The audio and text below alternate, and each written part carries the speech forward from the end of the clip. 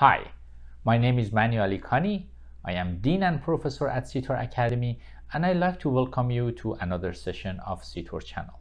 Today we continue the discussion on free object design.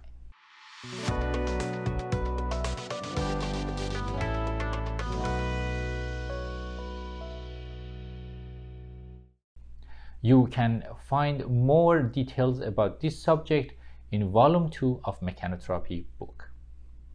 If you remember from previous session, we talk about indications for free object design. It's a very useful design, especially when we wanted to do a major movement at the start of the treatment. But like any design in mechanics, it has its own limitation. One of the main limitations of free object design is the fact that we do not have full control in all dimensions. We adjust our force in one dimension, but that force in other dimension can produce moments that can change the type of movement in other dimensions that we may like or we may not like. In another word, the plane of movement can change significantly depends on relationship between the line of action of the force and center of resistance in other dimension.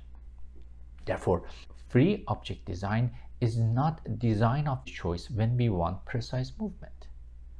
In precise movement, we like to move the tooth in one dimension while control the movement in other dimension. One of the example of the time that we require precise movement is during the finishing stage, that we want everything to be precisely controlled. Free object design is not a design of choice for finishing stage. It's mostly design of choice at the start of the treatment. Another limitation of free object design is that when we are designing a bodily movement, especially in horizontal movement. To have a bodily movement, the force need to pass through the center of resistance of the tooth. It's very difficult anatomically, especially when we are applying a horizontal force to design a mechanic that force pass through the center of resistance. These limitations make the free object design not the design of choice, especially when we have bodily movement in horizontal direction. Well, assume we still want to use the free object design, is there any way that we can control the side effects? Yes, let's look at the example. I want to intrude a molar. I apply a force in buccal surface and in this dimension everything seems reasonable. The force passed through the center of resistance and we assume we're going to have a pure intrusion without any side effects. However, if we turn the image, we notice that force does not pass through the center of resistance in coronal plane. In that regard, a moment appears that can tilt the tooth buccally how we can control this moment. Simultaneous application of two free object design can control the side effects that appear with one free object design. For example, in this molar, if we apply a buccal and lingual force at the same time, the moments that produced by the free object design cancel each other and therefore we will be able to have a pure intrusion. Therefore, any times that you want to control side effect of one free object design, it is a good idea to simultaneously apply two free object design to control your moments. Maybe for individual targets such as single tooth, it looks a little bit excessive, too much. How about the big, large target, for example, a dental arch? Application of two free object design simultaneously for large object is very useful clinically. Assume we uh, rigidly connect all the teeth of one dental arch together. Now we have one object that we like to move. If we apply a force unilaterally, this object will tilt. Why? Because the line of action of the force does not pass through the center of resistance. A moment will appear that will tilt the object unilaterally.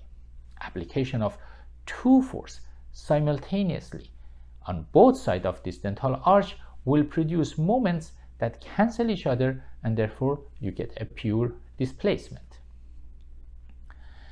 Similar to the big uh, object like a dental arch, if you have a segment that you like to move and you like to apply free object design, application of two simultaneous free object design in both sides of these segments can help to control the side effects. For example, we want to intrude the anterior segments and uh, we apply a free object design uh, to apply a force for intrusion of the segments only in one side. If we just apply this force, the segment would intrude, but it will tilt at the same time because of existence of the moment.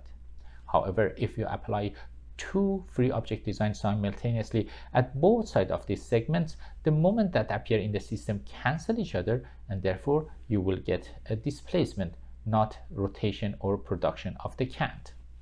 Now that we know how to control the free object design, the next questions that pass through our mind, how we can control the type of movement with the free object design. The type of movement can be controlled by playing between the relationship between the line of action of the force and the distance from the center of resistance. Let's have an example. I have a posterior segments that rigidly connected together so they act as a one object and I like to move this object in the space. For example, I like to apply extrusion force. If we apply the extrusion force farther away from the center of resistance, we can produce an uncontrolled tipping. In another word, the anterior part of the segments will come down, but the posterior part of the segments will go up slightly. On the other hand, if I move my force closer to the center of resistance, very soon I will see a control tipping. In another word, the posterior part of the segment stays stationary while the anterior part of the segment comes down. Even farther movement when the force passes through the center of resistance, you will see that you will have a bodily movement. So by controlling the distance between the line of action of the force and the center of resistance, we can control the type of movement. This is very important. This predictability of the movement can only be seen when you have one object. If you connect the teeth with a flexible wire, each tooth move separately. They are not one object, they are multiple objects. Therefore, the movement of the segment become unpredictable. While one tooth may respond differently to application of the force based on the line of action and the distance between the center of resistance of that tooth and line of action, the other tooth that is farther may react differently. Therefore, if you are planning to move a segment or whole dental arch and predict the movement or study the movement using free object design, you need to make sure that segment or dental arch is only one object, is rigidly connected to each other. One of the main free object design that uh, we use a lot during the clinic is one couple system. One couple system is a very good example of free object design. You may ask how one couple system can be a free object design when wire is connecting two teeth together. Is the wire producing a restriction of the movement? In that case, it should not be a free object design. It's actually wire is connecting in one side, one contact point, and in the other side it has two contact points.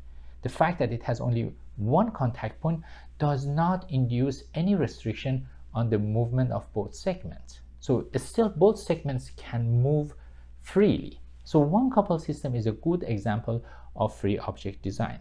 For example, we are using one couple system to operate the molar and we're connecting the wire in one uh, contact point to the segment in the front to apply the proper force and moments. This is the free object design. The extrusion of the molar will not get restricted by this design. I hope you enjoyed this session of CTOR channel. Next time, we start to explore the semi-restricted design. If you have not subscribed to our channel, please go ahead and subscribe. And please do not forget to press the like button. Thank you so much.